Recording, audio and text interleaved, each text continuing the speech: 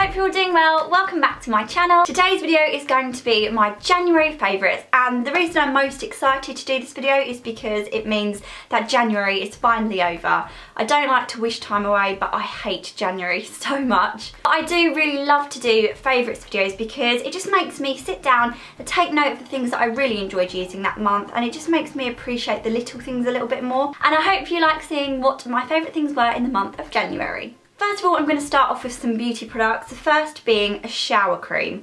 Hopefully you can see that. This is the Cafe de Bain Delectable Home Bathing.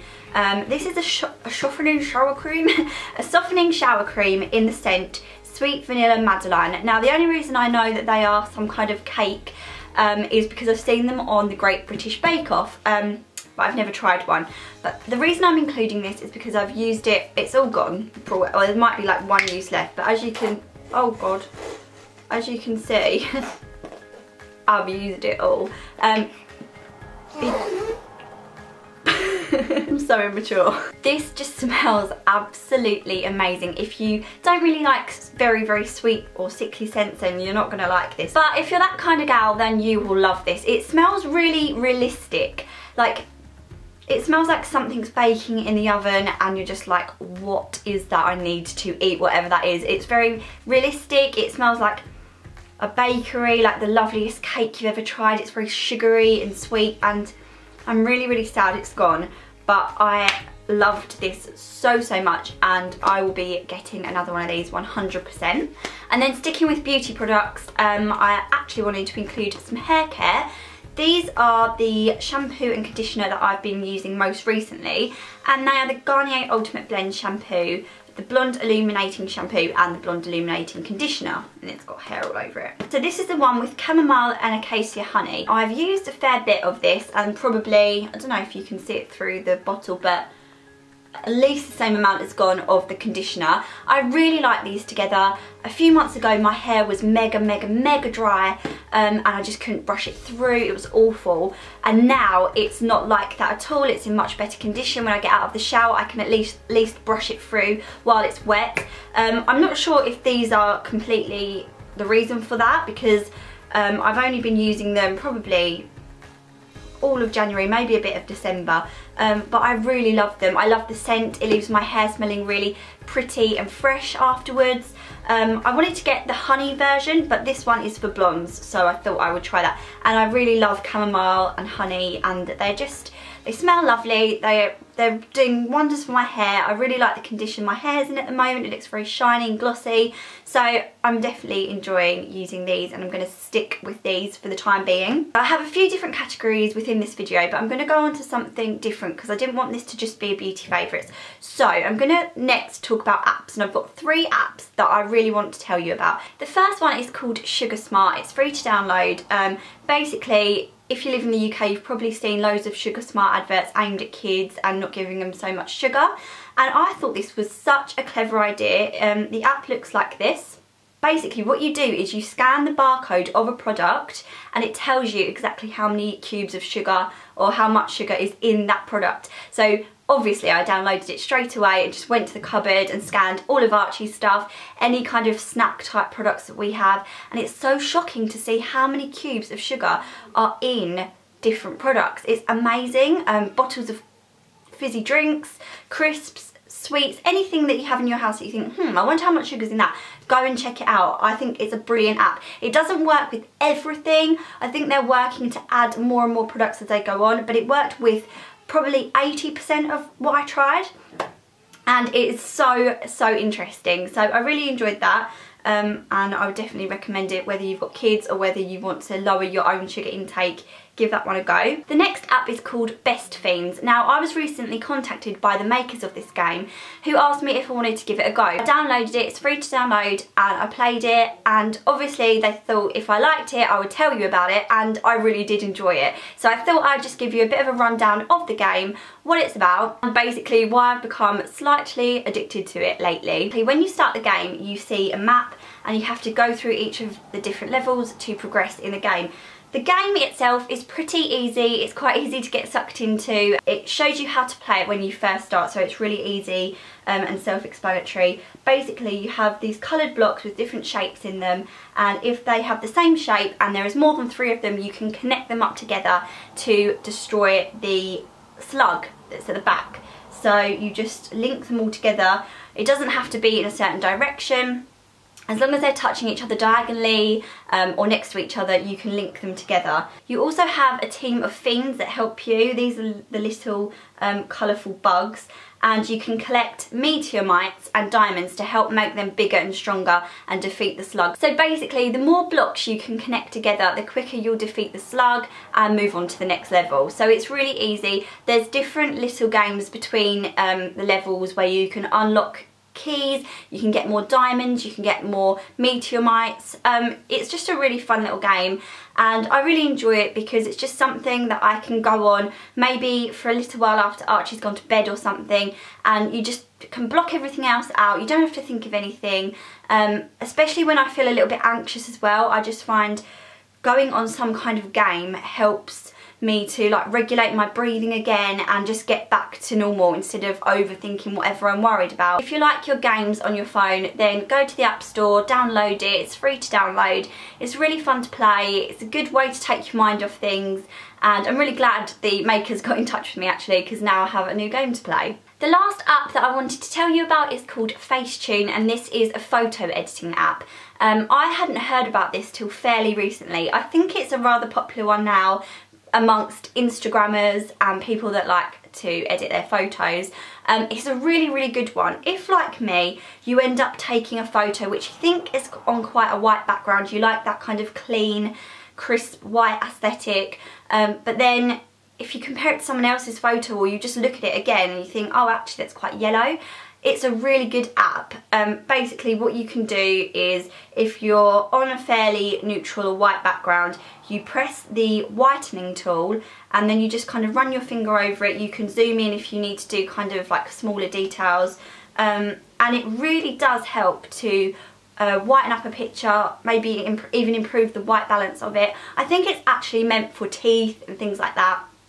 But obviously people use them for all different things. So I really like um, Facetune. There are other things you can do. You can smooth out so it's kind of like an airbrushing tool and there's loads of things you can explore within Facetune. So again, it's just a good one to have on your phone. If you like Instagram, if you like to perfect your photos a little bit more, um, I really love Facetune. So that's another one. I'm going to go on to some clothes now. Um, I've got two things I want to show you in this video. One is my beloved jumper. Um, this might look a little bit boring, I don't know, but I've been living in this for the month of January.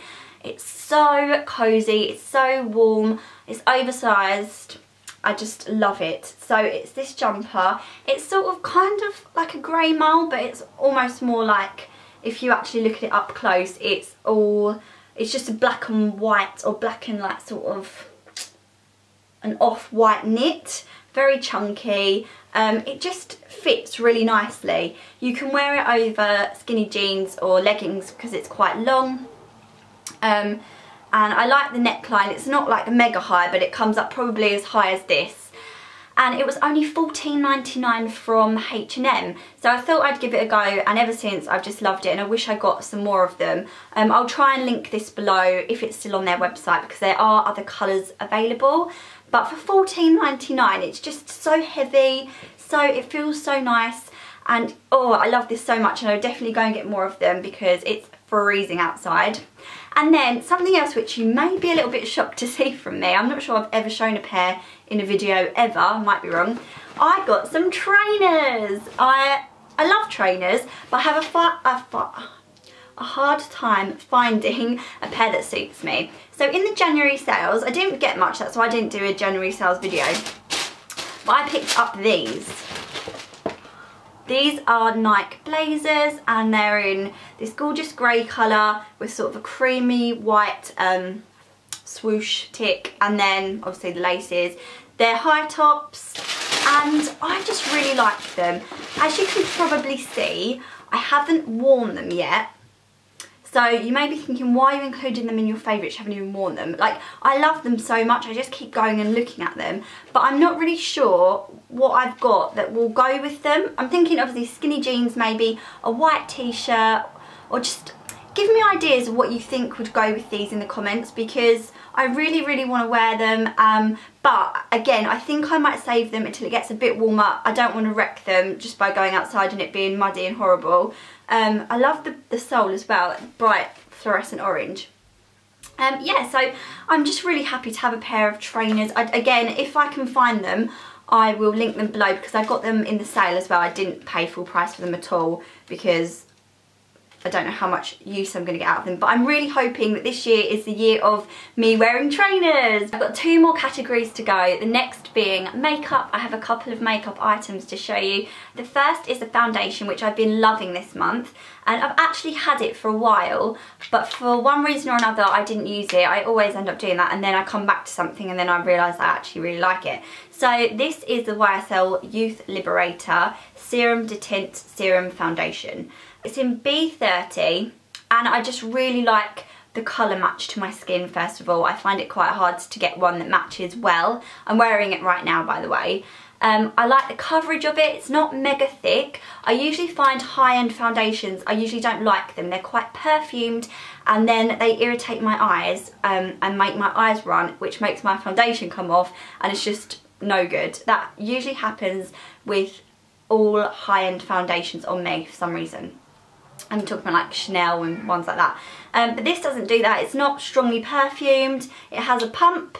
Oh, I've unscrewed it. It has a pump, which I like because some of them have just like a little dropper or something which isn't that helpful with the foundation.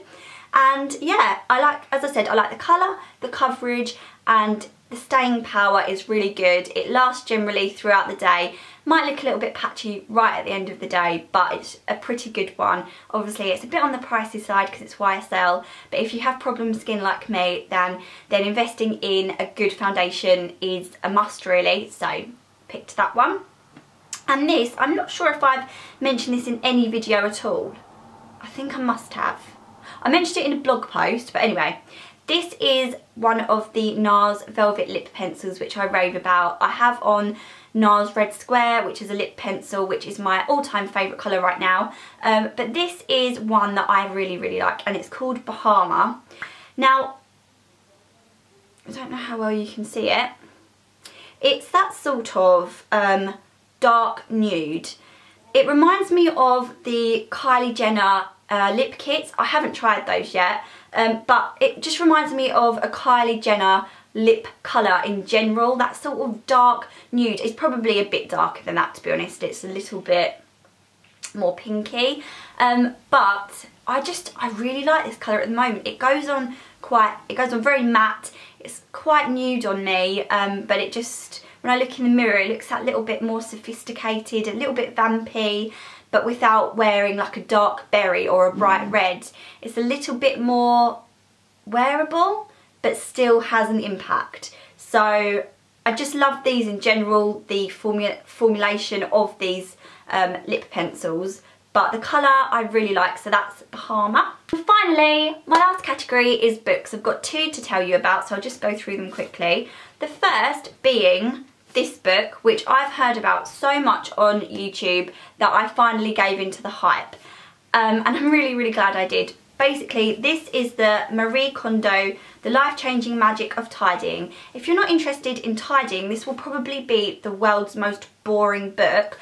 But if you have like that overwhelming feeling that you want to get your life organised, get your space tidy, um, this book really does tell you how to do it and how to achieve it and keep it like that. I'm about, I read like a third of it in the first go. I'm probably about halfway through now and I'm not going to start until I've read the whole thing. But what I'm hoping to do is with some of these uh, tips and tricks and ways to tidy that I've learnt in this, I want to film the process. So not talk about everything. If I clean out my kitchen cupboard, you guys aren't really going to be interested in that. But you might be interested in seeing me really clear out all of my clothes and accessories and bags and shoes and makeup. So if you would like to see that process in some form, leave me a comment below and let me know that because I have found this massively helpful. The light's a bit bright so you can't see it, but I love this book. I'm sorry that everyone's talking about it. I did buy it because other people were talking about it too and I can see why. It's really, really interesting. And finally, I have uh, mentioned this in my what I got for Christmas video, but I hadn't started using it then. And this is my Q&A a day, as you probably know I got for Christmas. It's the five year journal and I did not explain it very well in that video at all, but I can kind of show you now because I have been filling this in. It's flicked to the 8th of January and the question is what song is stuck in your head? So you just fill in the top line and you get five different sections and you actually just fill in this once a year. So this is actually five years worth on a page. You put the date, so it's got 20 and then I've put 16 and then I wrote today Archie and I had a little dance to Run the World and Rather Be and we've been singing them all day that boy loves to boogie so that just reminds me of a little day. It was a stay at home mummy kind of day where we were dancing around and having fun and I'll always have that as a little memory there. Um, so you don't have to write a full diary every evening if you don't have the time. You literally just write four lines a day um, and it gives you a question and you answer it and then you answer it for the next four years after that. And you have this sort of little time capsule which I just think is really special. And I just wanted to quickly say as well I googled these recently and I've seen on Google they have not Google, I've seen on Amazon, they have loads of different kinds. Um, they have one for mum, so they ask you kind of mum type questions. They have one for your kids. So I thought an amazing thing to do would be to get one and then without your kid even really knowing until they're a little bit older I suppose, you just ask them the question each day. I don't know what they are but it could be like what's your favourite animal? And if you ask them when they were four, say you started when they were four, I couldn't start mine yet because Archie is still not talking properly, but say you start when they're four and their favourite animal is a dog. You can see how it changes over the next five years because in a child's lifetime that is a long space of time. And again it will be something that they can keep in their memory box forever of what they said if they gave a little funny answer or something. So I'm definitely going to pick one of those up and I'll, I'll link some below as well if you do want to check them out. They've got loads of different types, teenage ones, loads. So that's everything that I wanted to show you in this video. I'm sorry if it was mega long again. Hopefully I can edit this down a bit. Um, yeah, leave me comments below what you think I should wear my trainers with and also if you'd be interested in seeing any kind of life organisation, tidying type videos and I'll be back with another video soon. Thanks for watching everyone. Bye!